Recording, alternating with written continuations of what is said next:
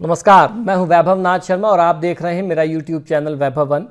मित्रों, अपने कार्यक्रम के माध्यम से मैंने कई बार आपको बताया कि जब आप प्रातःकाल सुबह जगते हैं, बिस्तर पर आपकी जब निद्रा खुलती है तो सबसे पहले यूँ ही इधर उधर नहीं देखने लगना चाहिए। जो हमारे शास्त्र का नियम है कि हाथ देख करके मंत्र बोल के कराग्रे वस्ते लक्ष्मी कर मध्य सरस्वती, ये बोल करके अपना हाथ चेहरे पर लगा करके उठना चाहिए।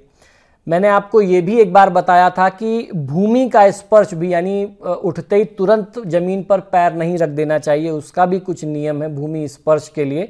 तो आज हम लोग इस विषय पर चर्चा करेंगे कि जब आप बिस्तर से ज़मीन को, यानी भूमि का स्पर्श करें, जब आप सुबह उठें तो क्या बोल करके और किस कामना के साथ भूमि पर पैर रखना चाहिए और उनको प्रणाम करके उसकी क्या सही विधि, क्या मंत्र है, ये पहले भी मैं बता चुका हूँ। आज फिर आप लोगों के दर्शकों की दोबारा डिमांड पर, मांग पर इस एपिसोड को हम लोग कर रहे हैं।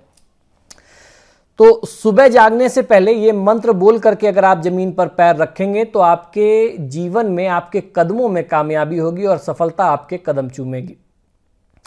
पैर शरीर का बहुत ही विशेष और बहुत महत्वपूर्ण अंग है। जिसके बिना जीवन गतिहीन है, पैर के बिना इंसान विवश और असहाय हो सकता है। हालाँकि मज़बूत इच्छा शक्ति के लोग बिना पैरों के भी जीवन को सफल बना लेते हैं। धर्म ग्रंथों में वामन अवतार, अंगद का पैर जमाना श्री राम का अहिल्या उद्धार जैसे अनेक प्रसंगों में चरण यानी पैर ही कल्याणकारी, दंभ को तोड़ने वाले या पावनता का प्रतीक बने। यही कारण है कि जीवन को सफल बनाने और कोशिशों में यही पैर आपके न डगमगा जाएँ और बिना बाधाओं के आगे बढ़ते रहें। इस भावना के साथ हिंदू धर्मशास्त्रों में इंसानी मन और जीवन के ज्ञान विज्ञान को समझते हुए सुबह जागने पर पैर को ज़मीन पर रखने समय एक विशेष मंत्र बताया गया, जिसके द्वारा देवता का स्मरण करके उनसे आज्ञा ले करके ही, खासतौर पर भूमि देवी से आज्ञा ले करके ही आपको पृथ्वी का, ज़मीन का स्पर्श करना चाहिए, ये महत्व हमारे शास्त्रों में है। इससे देव कृपा से हर कदम सुरक्षित और कामयाबी की तरफ़ आप आगे बढ़ते हैं, कामयाबी तक पहुँचाने वाला ये नियम होता है। यह मंत्र विशेष रूप से मात्र शक्ति का स्मरण है। शक्ति का ही स्वरूप देवी लक्ष्मी की उपासना, सुख, धन और ऐश्वर्य देने वाली मानी गई है। जो इंसान जो हर इंसान की चाहत होती है, धन की कामना, सुख और सफलता की कामना, इस मंत्र में भी माँ लक्ष्मी का ही स्मरण है। इसलिए सुबह जागने पर ज़मीन पर पैर रखते ही या यूँ कहें कि पैर रखने से पूर्व इस मंत्र को सिर्फ़ एक बार बोल करके, भूमि का स्पर्श करके आपको ज़मीन पर पैर रखना चाहिए, तब आप कदम आगे बढ़ाएँ। ये मंत्र है, समुद्र वसने देवी पर्वत स्तन मंडले विष्णु पत्नी नमस्तुभ्यम पादस्पर्शम क्षमस्व में इस मंत्र को दूसरे तरीके से भी बोला जाता है, समुद्र मेखले देवी पर्वत स्तन मंडले विष्णु पत्नी नमस्तुभ्यम पादस्पर्शम क्षमस्व में वो उनसे आज्ञा लेते हैं कि आप मुझे मतलब इस मंत्र का भाव यह है कि मैं आपके ऊपर चरण रख रहा हूँ, ये पाप मैं करने जा रहा हूँ, इसके लिए आप मुझे आज्ञा दें और जो मुझसे ये पाप होने जा रहा है, मैं अपने चरण से आपको स्पर्श करूँगा, उसके लिए आप मुझे क्षमा में अर्थात मुझे क्षमा करें। ये बोल करके, उनको प्रणाम करके आप उस पर भूमि पर, धरती पर पैर रखें।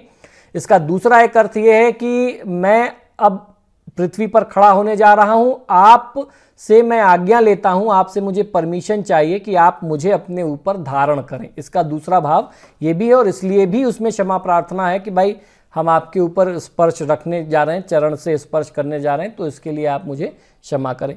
तो इस भाव के साथ, देखिए, हमारी जो सनातन परंपरा है, उसमें हर चीज़ के लिए आपको विनम्रता के भाव दिखेंगे। हर चीज़ से जुड़ा हुआ कोई ना कोई एक मंत्र है।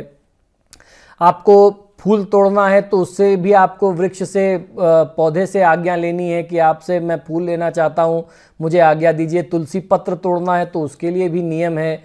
तो हमारा जो आ, सनातन धर्म है जो परंपरा है वो पूरे संपूर्ण सृष्टि को चराचर जगत को सब में प्राण मानते हुए सबसे एक कनेक्शन स्थापित करता है। हम लोग नदियों को पूछते हैं पेड़ों को पूछते हैं पहाड़ों को पूजते हैं और ठीक वैसे ही पूजते हैं, जैसे एक आदमी की, एक मनुष्य की परिकल्पना की जाती है कि अब हम पीपल के वृक्ष की पूजा कर रहे हैं, ये जड़ है तो उनके पैर हैं, हम अगर गिरिराज जी जाते हैं जो पहाड़ है तो उनकी भी एक आकृति है, मूर्ति स्वरूप है।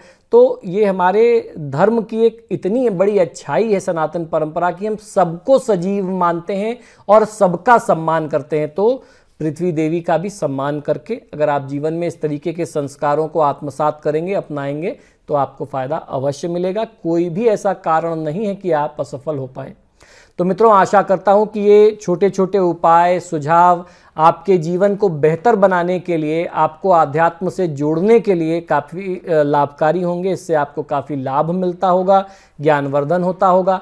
आप सभी से बार बार आग्रह करता हूँ कि जब भी आप मेरे वीडियोस देखते हैं तो इन्हें लाइक और शेयर ज़रूर किया करें। और आपने अगर अभी तक मेरे चैनल को सब्सक्राइब नहीं किया तो प्लीज़ इसे सब्सक्राइब करिए। इसी शुभकामना के साथ कि आपका दिन शुभ हो। मुझे आज्ञा दीजिए और देखते रहिए मेरा यूट्यूब चैनल वैभवन नमस्कार।